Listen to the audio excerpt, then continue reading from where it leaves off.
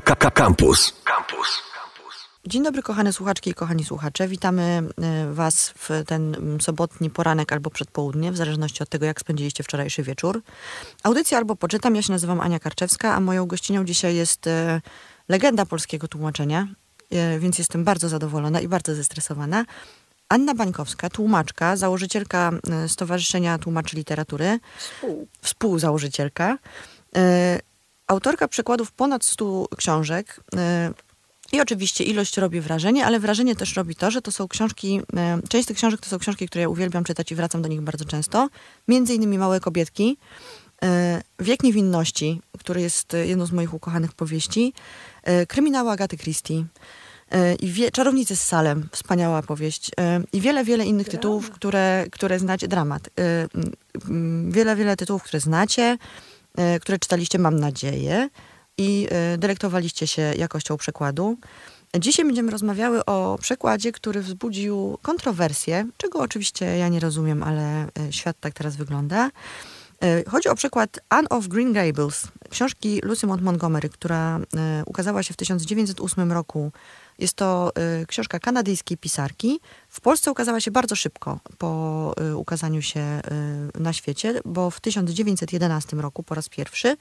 I proszę mi poprawić, jeżeli mówię dobrze, Rosalia Bernsteinowa przetłumaczyła pierwszy. Bernsteinowa. Be Nie bardzo wiadomo, jak ona miała naprawdę na imię. E, aha, to nie rozumiem. zostało jeszcze zbadane Czyli ktoś po prostu końca. w internecie dopisał tak. sobie tą Rozalię. Tak.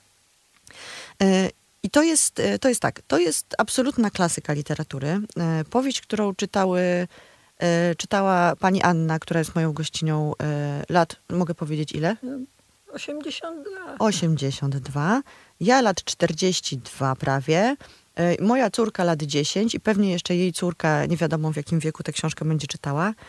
Mm, proszę mi powiedzieć, pani Anno, czy pani jako dziecko lubiła Anię Zielonego Wzgórza? Bo będziemy mówić do, do tego momentu, kiedy pani to przetłumaczyła, jeżeli pani pozwoli, starym e, trybem, a teraz, a potem Dobrze. jak będziemy rozmawiały o tłumaczeniu, to przejdziemy do nowego Dobrze. trybu. Oczywiście, że nie tylko lubiłam, wręcz przepadałam za, te, za tą książką, e, chociaż w życiu mi się nie, nie śniło wtedy, że, że kiedykolwiek będę ją, będzie mi dane ją tłumaczyć ale była to na tyle ważna książka w moim dzieciństwie, że ja się wręcz z Ann identyfikowałam. I potem y, już, jako, już po studiach, jako redaktor i, i y, początkująca tłumaczka, najpierw y, śledziłam losy tej książki w Polsce. Także kiedy się ukazał pierwszy taki przekład, który dokonał wyłomu w tradycji e, pani Agnieszki Kuc, to ja o tym nie wiedziałam, czytałam wywiady z nią i brałam też udział w dyskusjach, ale wszystko to jako czytelniczka. Mm-hmm. To jest taka, e, taka powieść, nie jedna powieść, bo to jest cała seria i cała seria jest wspaniała, mm, która faktycznie dla bardzo wielu dziewczynek i wrażliwych chłopców, bo to nie jest tak, że Anielnego Wzgórza czytają wyłącznie kobiety. Tak, mam mnóstwo, aż się dziwię. Ilu, to prawda. ilu mężczyzn ją czyta i bierze udział w tych dyskusjach w e, sieci. Z mojego doświadczenia wynika, że e, jeżeli któryś mężczyzna przyzna się do tego, że czytał Anię Zielonego Wzgórza, to od razu można do, dać mu kredyt zaufania i uznać, że jest naprawdę fajną osobą, bo część e, chłopców, na przykład ja pamiętam jeszcze z podstawówki, czytała, ale się do tego nie przyznawała. Mój wnuk nie przebrnął, a jest bardzo fajnym facetem. Ale może jeszcze za wcześnie. No, no nie, on jest już do, do, do, zupełnie dorosły. No dobrze, to może moja teoria nie, do, nie we wszystkich sytuacjach się sprawdza. Mm, w każdym razie mm, na pewno jest to książka formacyjna dla wielu osób. E, dla mnie oczywiście również była. Mm, cały czas e, po, po, potrafię popaść w otchłań roz, rozpaczy i bardzo się cieszę, że ta otchłań rozpaczy pozostała w nowym tłumaczeniu tak jak była, bo jestem do niej bardzo przywiązana. Wszystkim na niej zależy. Pytano bo to jest... mnie o to wczoraj też na no bo to jest taki, e, myślę, że jeden z wielu oczywiście, mm, z, wielu rzeczy, która w tej książce jest ważna, ale mm, to, że ta dziewczynka, oczywiście większość z nas nie podziela losu tej biednej sieroty kanadyjskiej, która no, przeszła bardzo ciężkie momenty w dzieciństwie. Potem oczywiście znalazła ten wspaniały i kochający dom, ale dalsze jej życie też było naznaczone jakimiś problemami. No, my teraz w tej swojej rzeczywistości nie mamy aż takich problemów, ale mimo to dziewczynki i chłopcy nadal są w stanie się utożsamiać z Anią, bo czują się na przykład właśnie nieładni, e, niedocenieni, zbyt dziwni jak na e, rzeczywistość, albo twierdzą w drugą stronę, tak jak Ania, że rzeczywistość e, wymaga korekty i do wyobraża sobie... Pola do wyobraźni. tak, pola do tak, wyobraźni. Pole do wyobraźni to też jest taki obok otchłani rozpaczy Bardzo ważny ważna rzecz. termin. Mhm. E, proszę powiedzieć, co z Pani perspektywy jest takiego wyjątkowego w tej książce, że przez tyle już dziesiątków lat młodzi ludzie do niej po prostu wracają i czytają, mimo że ona, przyznajmy, trochę trąci myszką. Może po prostu jest dobrze napisana. To jest wyzwanie dla tłumaczki, prawda? E, tłumaczyć coś, co jest dobrze napisane. Jak najbardziej duże, duże wyzwanie, a dla mnie zawsze w przekładzie osoba autora jest najważniejsza. Mhm. Czy pani czytała coś o Lucy Montgomery? Tak, Zna pani tę postać? Przeczytałam ostatnio jej biografię. Mhm. Bardzo dociekliwą, wnikliwą, opartą na źródłach. Y, powiedziałabym, że jest to y, więcej się możemy dowiedzieć z tej biografii niż nawet z dzienników. Mhm które Mott Montgomery, ja mówię Mott, bo ona konsekwentnie prosiła, żeby używać drugiego imienia. Mhm. E, więc e, ona te swoje dzienniki pod koniec życia zredagowała, mhm. wiedząc, że będą publikowane. Czyli dokonała tak, autocenzury nie, nie, do, nie do końca można im wierzyć, mhm. co udowodniła autorka biografii Mary Henley Rubio, ta biografia ukaże się w tym roku w Polsce Wspaniale. po raz pierwszy. Mhm. I jest to ogromna książka, prawie tysiąc stron będzie. I z niej, się, z niej naprawdę można się będzie dowiedzieć, kim była Lucy Mont Montgomery, jaka to była skomplikowana bardzo osobowość będzie można dzięki zapoznaniu się z tą y, biografią, będzie można śledzić y, wątki autobiograficzne w twórczości. No właśnie, których tak naprawdę tak. tam jest bardzo, tym, bardzo dużo. Tym od lat zajmuje się jej wielka fanka, pani Bernadetta Milewski, która mieszka w Stanach, ale na wyspie ma dom i mhm. bywa tam bardzo często. Współpracuje też y, ze Stowarzyszeniem Lucy Mott Montgomery, Stowarzyszeniem Literackim. Mhm. I mnie przy tym najnowszym przekładzie właśnie okazała absolutnie bezcenną pomoc. No właśnie, bo to jest. Przysyłała mi zdjęcia różnych obiektów.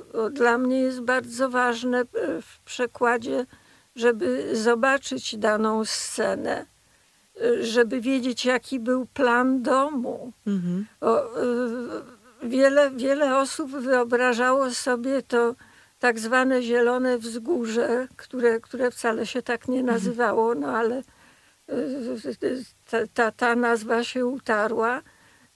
To nie był jakiś mały domek czy, czy chatka, to był rozległy dom. Mhm było w nim kilka szczytów właśnie i te szczyty były na tyle charakterystyczną cechą tego domu, mhm. że ich pierwotni właściciele nadali mu nazwę właśnie Green Gables, zielone, zielone szczyty. Mhm. Czyli stąd poprawka w tytule tłumaczenia. Tak. E, no dobrze, ja jeszcze muszę powiedzieć jedną anegdotę, która e, wydaje mi się być dosyć znacząca, bo jak mm, mm, przymierzaliśmy się do tego, żeby nasze dziecko przeczytało Ani Zielonego Wzgórza, zaczęliśmy rozmawiać o tej książce i wyszło na to, że ja byłam przekonana, że to się dzieje w Wielkiej Brytanii, natomiast ojciec dziecka przekonany był absolutnie, że dzieje się to w Australii. I bardzo żeśmy się pokłócili o to, tak naprawdę, gdzie to się dzieje. E, przy czym okazało się, że na samym początku książki już wyjaśnia się, że jest to e, e, Wyspa Świętego Wawrzyńca. W związku z tym Świętego Edwarda. Świętego Edwarda, przepraszam bardzo. Wawrzyńca to zatoka. Wawrzyńca to zatoka, to prawda. więc nie wiadomo z jakiego powodu te wyobrażenia nasze dziecięce się za, zaczepiły akurat w tych miejscach, w, w których się zaczepiły. E, natomiast e, moje dziecko mnie skorygowało właśnie, że to jest ani jedna, ani drugie, tylko Kanada, bo przecież to jest napisane na książce. E, także cieszę się, że mam bystrą córkę. Ja bym chciała przeczytać tutaj kawałeczek tylko, który mnie bardzo ujął i który w ogóle bardzo lubię w tej książce. Z samego początku tak naprawdę opis tego domu, w którym pojawia się tak, Ania. to jest właśnie bardzo ważny. To jest bardzo opis. ważny, jest przepiękny.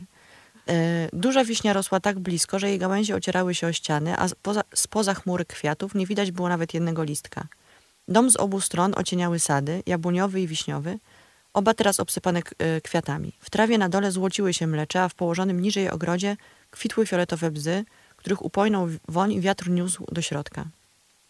Dalej zieleniło się pole bujnej koniczyny, opadające aż do dolinki ze strumykiem, gdzie pośród mchów i gęstych paproci strzelały w niebo liczne białe brzozy – Wzgórze na drugim brzegu porastał iglasty las, a między świerkami i jodłami majaczył dach szarego domku, który wczoraj widziała za jeziorem lśniących wód. E, to jest taki fragment, który, mm, który ja w ogóle bardzo, bardzo lubię i bardzo mi on dobrze robi. Czasami sobie go czytam ja to tak napisałam. sobie. to pani to napisała, to prawda. E, I potem porównałam sobie dwa e, pozostałe tłumaczenia, ten właśnie fragment. Oczywiście nie będę wszystkiego tu czytać, bo, bo nie po to tu jesteśmy, ale chciałabym zadać pytanie, co pani sprawiło, i, i podejrzewam odpowiedź, co pani sprawiło największą radość w tłumaczeniu e, tekstu Ani? Czy Anny? Teraz już musimy mówić, bo rozmawiam o tłumaczeniu. Ten powrót do korzeni właśnie. Mhm. Do, do oryginalnego tekstu e, Mott Montgomery. Mhm. No właśnie, bo proszę wyjaśnić, dlaczego do oryginalnego tekstu? Bo poprzednie tłumaczenia nie były z oryginału, prawda? Pierwsze tłumaczenie, mhm. y, znaczy tytuł został wzięty z, z przekładu na szwedzki. Mhm. Natomiast czy pani Bernsteinowa w jakim stopniu znała angielski, tego nie wiemy. To jest w ogóle bardzo tajemnicza postać. Mhm.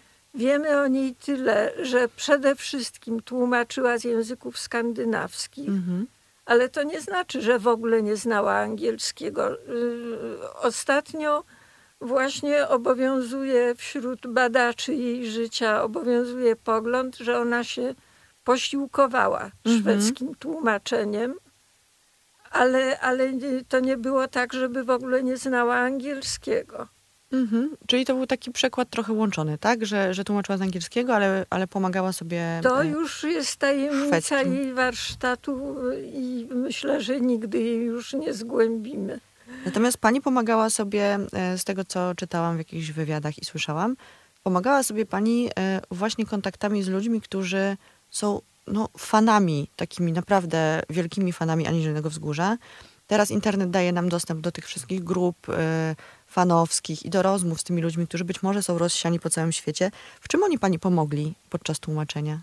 To była tak ogromna pomoc, że ja nie jestem w stanie tutaj e, wymienić wszystkich jej zalet. Mhm. No i, i ja w internecie siedzę odkąd nastał do Polski w ogóle i nauczyłam się z tego narzędzia korzystać. Uważam je za po prostu bezcenne.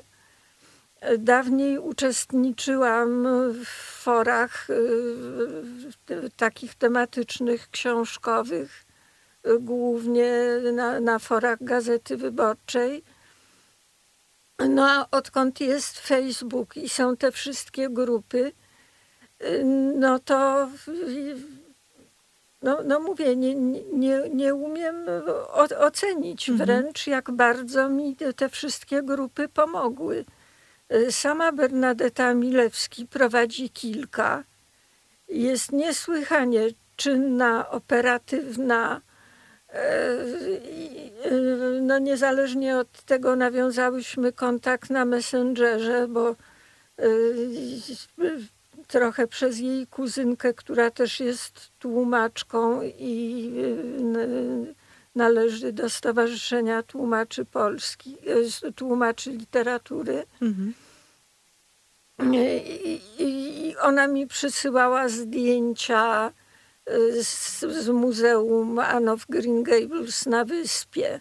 Y, dla mnie było ważne na przykład zobaczyć, jak wyglądały te pojazdy. Mhm. W, w oryginale mamy słowo bagi. Mhm. Zwykle to jest taki mały wehikuł. Ja w innych książkach zwykle tłumaczyłam to słowo jako dwukółka. No ale chciałam się dowiedzieć, jak to wyglądało naprawdę. Czy to rzeczywiście. No okazało się, że to nie była dwukółka. Mhm. No, że, I że najbardziej przypomina to bryczkę właśnie. Mhm. No i tak, tak przetłumaczyłam.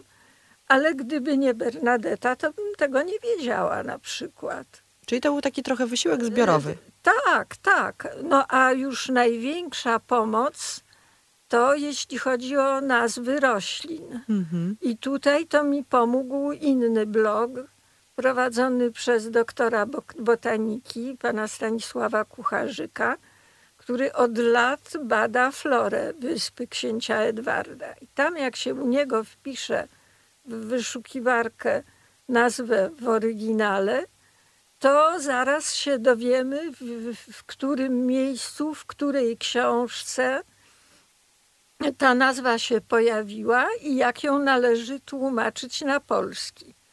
A jest to bardzo takie, powiedziałabym, zdradliwy proces, dlatego że jak się okazało i jak właśnie dowiedziałam się od pana Kucharzyka, jest wiele nazw y, y, i na wyspie, i w ogóle w Kanadzie, takich zwyczajowych, Mhm. które odnoszą się do, do kilku roślin, a nie do jednej. Mhm. Są też takie, które nie występują ani w Polsce, ani w Europie, Y, a, a na przykład były bardzo ważne dla autorki, i tutaj dochodzimy do majowników, które Mhm. występują w moim przekładzie. A jest to właśnie nazwa, którą pan Kucharzyk y, nadał y, kwiatkom, które, które w Polsce nie występują. To jest ogromna pomoc dla tłumaczki, dlatego że ja w książce beletrystycznej nie mogłabym używać nazwy łacińskiej, Oczywiście, chociaż tak. do niej dotarłam. Mhm.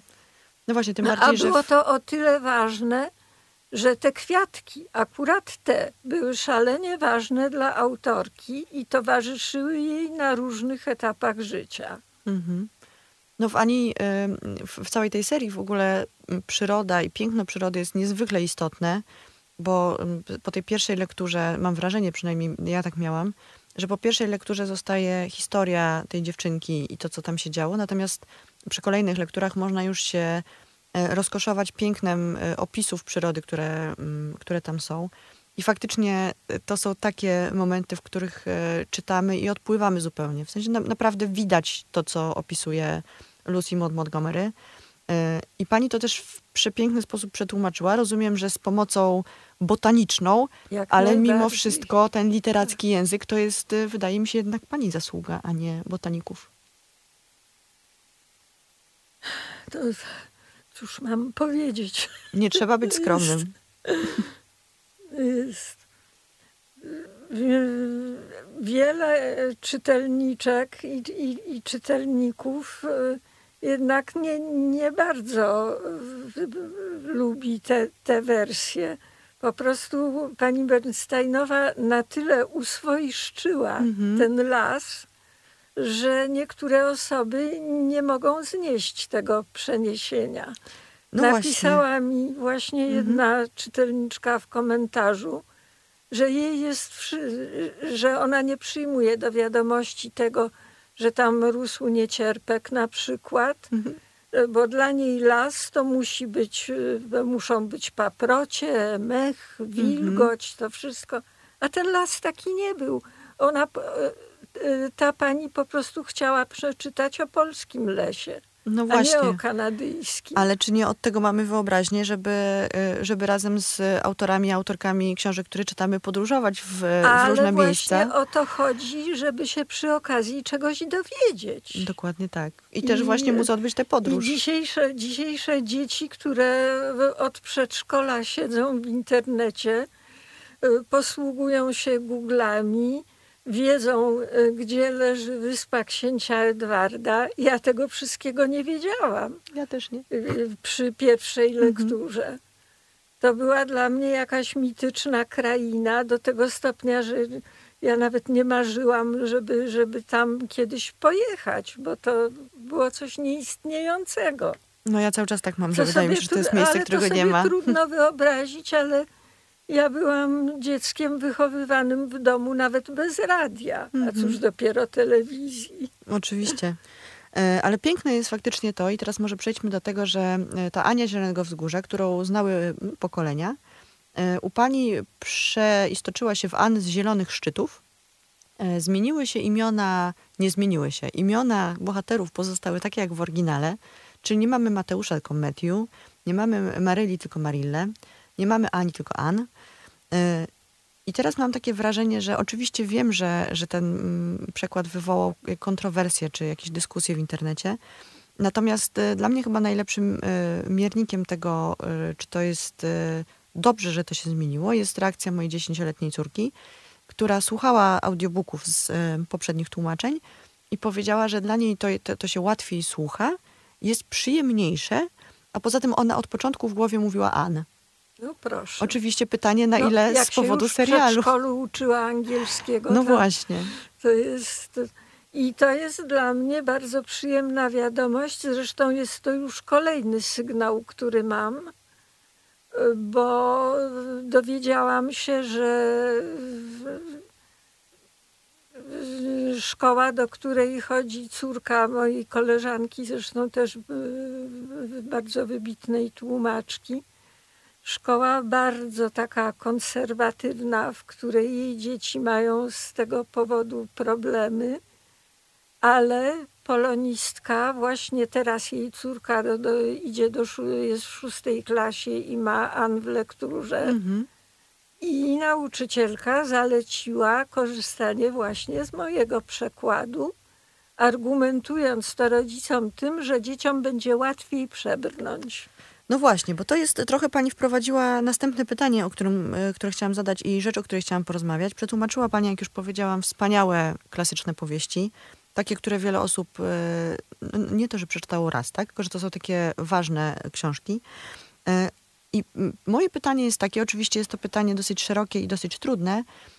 Dlaczego warto odświeżać klasykę? Dlaczego warto ją tłumaczyć na nowo wciąż i wciąż, bo teraz no jakby jest, mamy taki, takie zjawisko, czy zjawisko, no po prostu tłumaczy się tę klasykę, tak? tak? Pojawił się Ulises w nowym tłumaczeniu, Kroniki Canterburyjskie, tak. E, pani przetłumaczyła w całości mhm. po raz pierwszy. E, tak. No i jakby to, y, pojawia, się, pojawia się nowe tłumaczenie Alberta Camus, które y, oczywiście doskonale... Za minut będzie Hemingway na nowo Właśnie, nowy Hemingway. To, tak. są, to są takie rzeczy, które oczywiście zawsze powodują moim zdaniem jakąś, jakiś opór ze strony tych ludzi, którzy prawie na pamięć znają frazy z tych poprzednich tłumaczeń. Ale właśnie pytanie, na czym nam zależy, bo e, może nam zależeć na tych, e, nazwijmy ich starymi czytelnikami, ale mówiąc starzy mam na myśli do tego momentu, kiedy pojawia się nowe tłumaczenie, ale też e, trochę teraz walczymy, mam wrażenie, o to, żeby czytali młodzi ludzie i młodsi i najmłodsi, żeby sięgali po tę klasykę, żeby nie uznawali, że to dla nich jest język, który jest nie do przebrnięcia. To są słowa, których oni nie rozumieją, odniesienia, które dla nich są zupełnie jakby e, nieczytelne, mimo że mają tego Google'a i mogą sobie wszystko sprawdzić. E, czy to jest tak, że, że tłumaczenie na nowo klasyki trochę poszerza jej od, jakby grono odbiorców?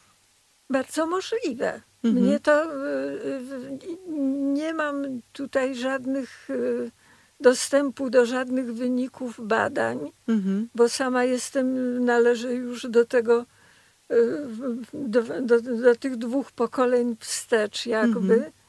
Sama mam utrwalone w głowie pewne frazy, choćby z tej samej Ann mhm. w tłumaczeniu Bernsteinowej. E, w pewnym stopniu mi to nawet e, przeszkadzało w pracy, bo automatycznie popełniałam pewne błędy z tego okresu, mhm. Na, ponieważ w ogóle nie znałam wtedy angielskiego, więc u mnie w głowie y, czytało się Avonlea, mhm. oczywiście. A skoro Avonlea, to ona była rodzaju żeńskiego i przyłapałam mhm. się na tym, że kilka razy w książce, bodajże w tym y, pierwszym wydaniu nie, chyba, chyba zdążono poprawić ten, ten, ten błąd. przy przymiotnikach używałam rodzaju żeńskiego automatycznie. No tak. Ale jeśli chodzi właśnie, wróćmy do tego, czy warto tłumaczyć klasykę. Oczywiście, że warto, bo ci pierwsi tłumacze nie mieli takiego dostępu do źródeł, jak, jak teraz jest. I w związku z tym, y, no tam się, to, że się błędy pojawiają, to one będą zawsze. Mhm. Nie ma takiego tekstu, w którym nie da się znaleźć błędu. Ale chodzi o to, co ja nazywam uswoiszczaniem. Mhm. No więc właśnie obserwujemy coś takiego, że ponieważ pani Bernsteinowa nie miała pana kucharzyka pod ręką. Ani internetu. A, ani internetu. Y, więc postanowiła w tym lesie posadzić takie kwiatki, które coś mówią polskiemu mhm. czytelnikowi. Przez to las stał się polski, a nie kanadyjski. Mhm.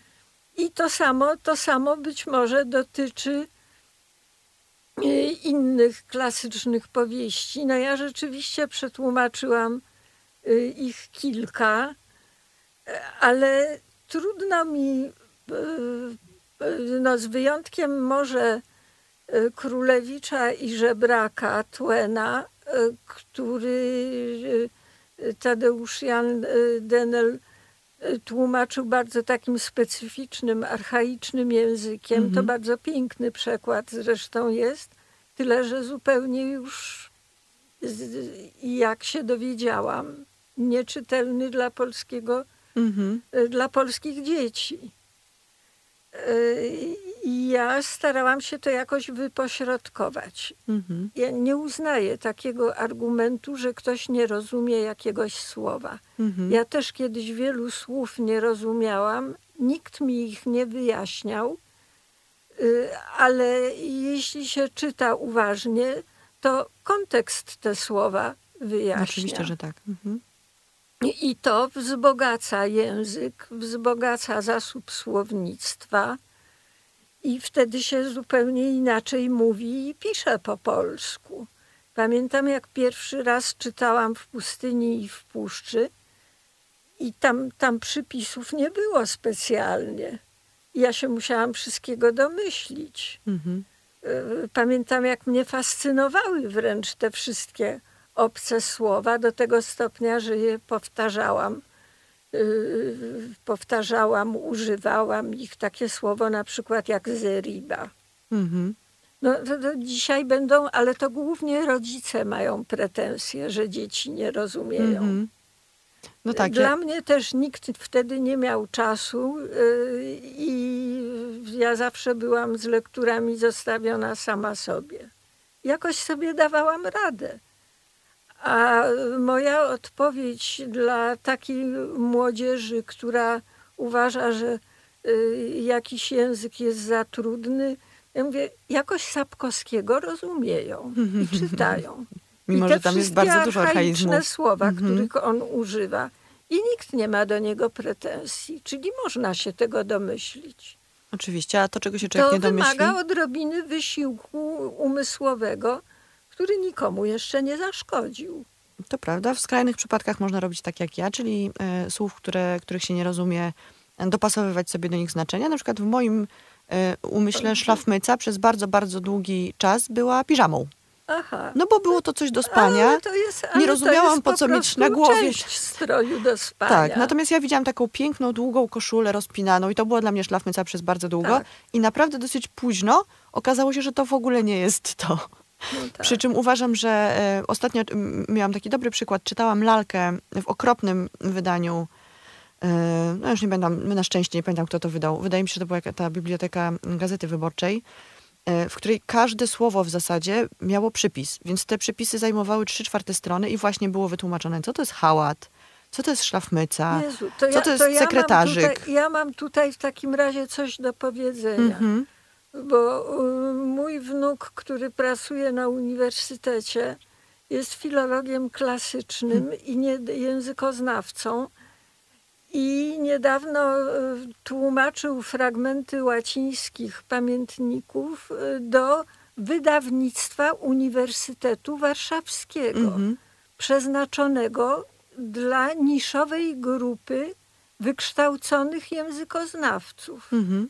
I tam mu podopisywali y, y, y, redakcja, podopisywała mu przypisy wyjaśniające. Takie słowo na przykład jak pretendować, U. To już poważne. traktować kogoś czymś w sensie ugaszczać, Mhm. to też było niezrozumiałe. Kompania w sensie yy, towarzystwo, Mhm. Coś takiego jak kompania, kmicicowa kompania. No ale to jest dosyć No oczywiste i wszystko. właśnie, on w nie wytrzymał nerwowo i odpisał im, że on rozumie, że tutaj nie wszyscy czytali Sienkiewicza, no ale jednak wszystko ma swoje granice. No Oczywiście, i że w tak. pewnej grupie ludzi, jeśli nie rozumie jak, y, tak, takich słów, których choćby jeszcze używał Jeremi Przybora w piosenkach, była przecież taka piosenka, to była miłość nieduża, poryw Mhm. uczucia maleńki. Przepiękna tam, piosenka zresztą. y, y, y, Do, do grzechów nie zmusza, nie pretenduje do ręki. Jakoś Mhm. wszyscy to rozumieli. No właśnie, bo to jest myślę też trochę taki akt zaufania wobec czytelniczek i czytelników, że jeżeli damy im dobrze przetłumaczoną powieść czy poezję, bo to w zasadzie dotyczy jednego i drugiego, to oni docenią jakość tego tłumaczenia i piękno języka, a resztą zajmą się trochę sami. Interpretacją tego, odczytaniem, e, Tak. dowiedzeniem się rzeczy, sprawdzeniem sobie na przykład jak wygląda wyspa, na której e, żyje Ann, albo jak wyglądają poszczególne rośliny, które są opisywane. E, to jest ten wysiłek, który jednak mimo wszystko, ja cały czas w to wierzę, trzeba włożyć w lekturę jakiejkolwiek, jakichkolwiek tekstów kultury. Tak. Nie możemy mi sobie się, za bardzo mi się ułatwiać. przypomina jeszcze moja nieżyjąca już dawno nauczycielka, która opowiadała mi kiedyś, jak jako dziecko czytała z siostrą na głos Przedświt Krasińskiego. Mhm.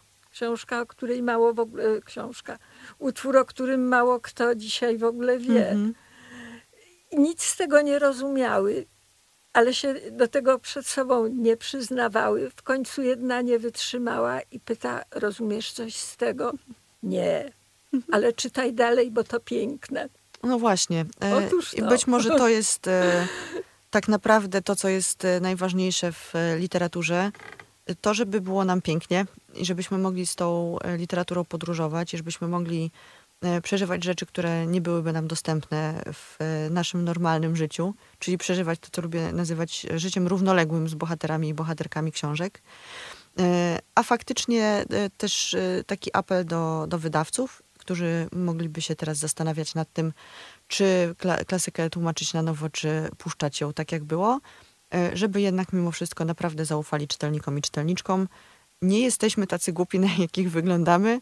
Otóż to. Poradzimy sobie e, nawet z archaicznym językiem, e, poradzimy sobie z trudną frazą w poezji. E, Będziemy i tak czytać te książki, więc zachęcam bardzo serdecznie do tego. Ja teraz marzę na przykład o nowym przekładzie pani Bowary. To jest taki mój Ale ukazał się. nowy przekład. Bo wiem, że Tak. teraz jest wznawiana pani Bowary, ale w starym przekładzie. I ktoś to przetłumaczył na nowo i ja nawet wiedziałam kto, ale teraz pani nie powiem. No widzi pani, to ja to jakoś e, niestety minęłam się z tą informacją, bo ja ten poprzedni przekład czytałem już ze cztery razy i czuję, że przeczytałabym e, jeszcze raz na tak, nowo. To moja, moja córka jest zakochana w Bo to jest Bowary. absolutnie wspaniała rzecz. Tak samo zresztą jak Wiek Niewinności. No, y, więc właśnie wiek niewinności, ten mój, to jest y, coś, co ja sobie słucham w audiobooku. Mhm. I, I właśnie też mi się takie, takie zdziwienia mam, że to, to ja tak napisałam. No właśnie, bo rozmawiałyśmy o tym przed wejściem na antenę, że tak naprawdę y, te, to piękno języka i jakość przekładu i jakość tekstu literackiego najlepiej jest słyszalna wtedy, kiedy się czyta to na głos. Tak. Dlatego tak, ja dlatego bardzo- bardzo polecam tłumaczom właśnie włączanie tego głośno mówiącego trybu. Zdecydowanie tak, a ja z kolei z, ze swojej strony bardzo polecam czytanie sobie nawzajem e, na głos książek. Tak, Nie tylko u nas w dzieciom, domu też się czytało. Niektóre właśnie. książki zwłaszcza śmieszne. Tak, to jest, e, tak, u nas też Tuwim jest... e, Tuwim, no, Shirley ten- Jackson u nas, u nas się do, do, do dzisiaj z córką mówimy cytatami z Shirley Jackson. No właśnie, bo to jeszcze przy okazji, e, oprócz tego, że jest wspaniałym sposobem spędzania wspólnie czasu, tworzy tak zwany słownik rodzinny. Tak, Te wszystkie rzeczy, które sobie wyczytujemy z oczywiście. książek. No dobrze, Pani Anno, niestety pora nam kończyć. E, Ja bym chciała wszystkich bardzo serdecznie zachęcić do tego, żeby nawet jeżeli czują jakiś opór wewnętrzny przed nazywaniem e, Ani Anny, a zielonych, Zielonego Wzgórza zielonymi szczytami, żeby dali szansę tej książce, e, żeby ją e, kupili, przeczytali, e, czytali swoim dzieciom obu płci. To jest wielka moja, e, wielki mój apel do rodziców. E, Albo podsuwali, jeżeli dzieci e, się opierają przed słuchaniem tego. E, Jest to wspaniała e, klasyczna literatura, która cały czas niesie ze sobą bardzo dużo znaczeń, bardzo dużo treści. E, Nie starzeje się, mimo tego, że już jest no, bardzo poważną seniorką. E, Pani Anno, bardzo Pani dziękuję za to, że przetłumaczyła Pani e, powieść mojego dzieciństwa. E, Bardzo dziękuję za rozmowę Dziękuję. i mam również. nadzieję, że jeszcze wiele wspaniałych przykładów przed Panią. A przynajmniej, y, żebym mogła dokończyć ten cykl. No bo co będzie potem, to y, jak wiadomo, Pan Bóg y, ma największy ubaw z naszych planów. To więc prawda. Mhm. Niestety. No dobrze, kochani słuchacze i kochane słuchaczki, ja się z wami w takim razie żegnam. E, Żegnam się też z panią Anną i do usłyszenia w przyszłym tygodniu. Pamiętajcie o tym, żeby e, spędzić tę sobotę przyjemnie, być może z książką w ręku. Słuchaj Radio Campus, gdziekolwiek jesteś. Wejdź na www.radiocampus.fm.